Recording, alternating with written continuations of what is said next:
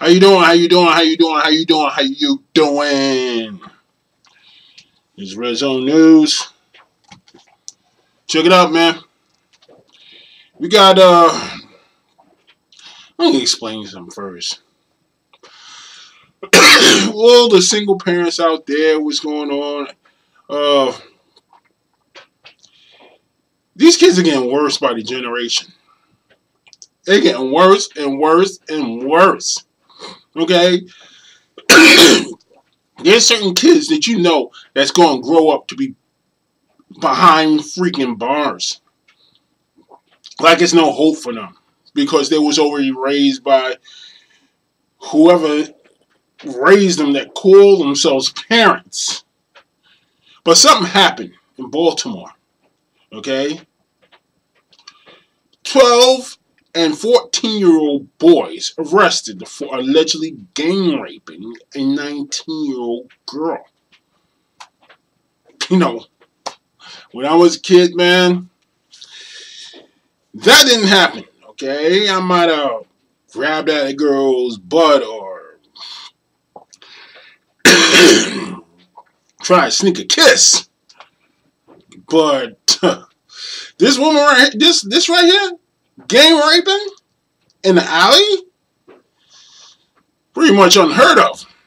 Okay, and as simple as that. You know, when you were a kid, you were in an argument, you had people arguing and so forth and so on, and you know, you're in a crowd looking at the argument, trying to catch a smooch. that was my childhood. You know, a little small part of my childhood. But compared to these cats, these little children, ain't even cats, they're kittens. 12 and 14 year old boys arrested for allegedly gang raping a 19 year old girl. Totally insane.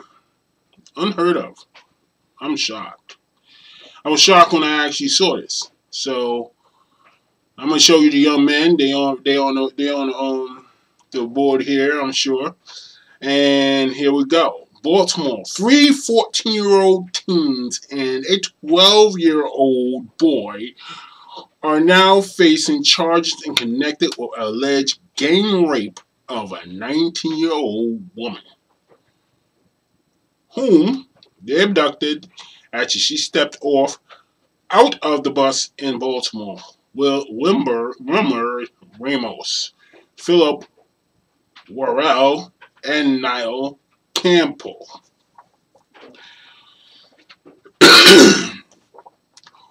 who are all 14 years old, were charged as an adults with first and second degree rape after their sexual assault that happened on the night of February 6. Charging an adult for rape. That means they're going to the big pen. You ain't going to Spofford. They're sending these little kids to the big pen now.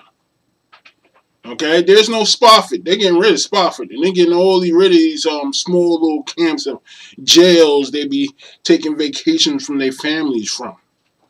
Okay, they're going to the big house. Okay, and if they're not going to the big house, they will be going to the big house when they get 19, and that's not too far away. A 12 year old boy who was with them at the scene during the sexual act was also charged, but as a juvenile. He faces charges of first degree rape, third, fourth degree, sex offense, conspiracy to kidnap, conspiracy to robbery, perverted practice, illegal, I mean, illegally possessing a handgun all those charges within the act. They try to um, find everything on him, on them, because they're little kids, and there's some ruthless little freaking kid too. Shit, you know what remind me of? Remind me of uh, Hostel. The little fucking the little kids running around talking about give me candy. Exactly what I'm talking about.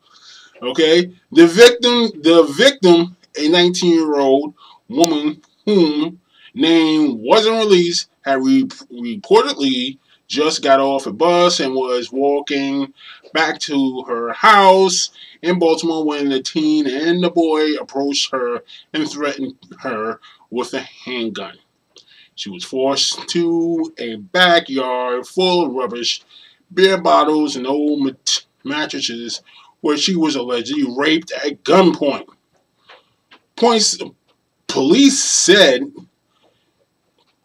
damn, could they find any better place? I mean, really, a back alley, beer bottles, mattresses. Where the hell these kids live at? Police said that as the three teens who had sexually assaulted the woman, neighbors heard the noise, went out of their house to identify where it is coming from. The fourth attackers were interrupted and they fled and from the scene. Two of them were caught later on when school police recognized them. School police cooperated with cooperated with sex offender detectives and the two other suspects were captured after they were identified from the photos. So they got caught going to school. they got caught going to school, and uh, you know, and the police, the police that that was in the school, saw them. You wonder why they got cops in schools? Little criminals like this. These kids are getting hardened and hardened and hardened. They hate to see when they grow up. Okay? And as simple as that, if they grow up, okay, these people, these, these, cats on a one way ticket to prison. There's no way around it. But where's the parents? You see any blaming of the parents? You know what they need to do? They need to stick the faces of the parents on side with their kids maybe something positive will happen. Maybe they'll start raising them correctly. Maybe they start giving a darn what they're doing. But since that's not going to happen because, hey, the money is not in correcting the problem, the money is in perpetuating the problem so we can get more prisoners in jail. And while we got our prisons, all prisons, who's uh, probably owned, we can keep stocking their jails up. But don't put no mothers in there. Don't put no fathers on there beside their kids, man. They might actually try to be a parent. God heavens. That will happen. This is Red Zone News. Signing off.